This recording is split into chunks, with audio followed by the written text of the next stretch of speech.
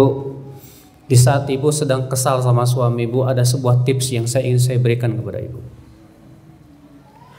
Para ulama memberikan kepada kita sebuah kaidah yang masya Allah. Kata mereka apa?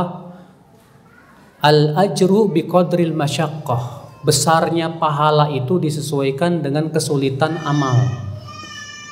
Artinya amal semakin sulit maka pahalanya semakin apa?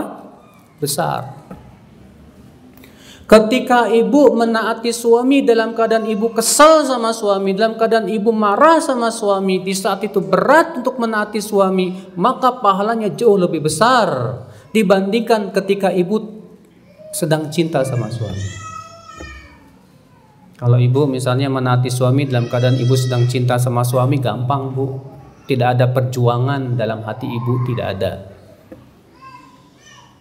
yang dilihat oleh Allah ya apa? Perjuangannya usahanya semakin kuat perjuangannya semakin besar pahalanya di sisi Allah Subhanahu wa taala. Maka ketika ibu di saat marah di saat kesal sama suami ibu berjihad melawan diri hati ibu kemarahan ibu dan tetap untuk menaati suami di situ pahalanya jauh lebih besar di sisi Allah Subhanahu wa taala.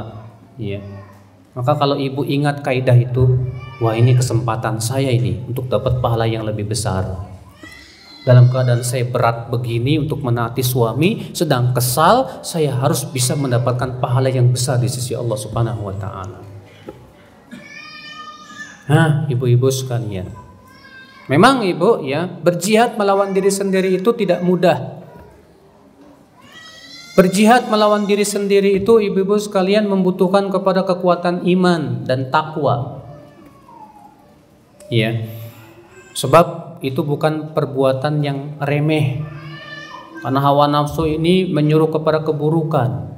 Hawa nafsu ini senantiasa ya apa namanya mengikuti hawa nafsu setan. Allah taala berfirman innan nafsal ammaratum bisu Sesungguhnya hawa nafsu itu selalu menyuruh kepada keburukan ibu-ibu sekalian.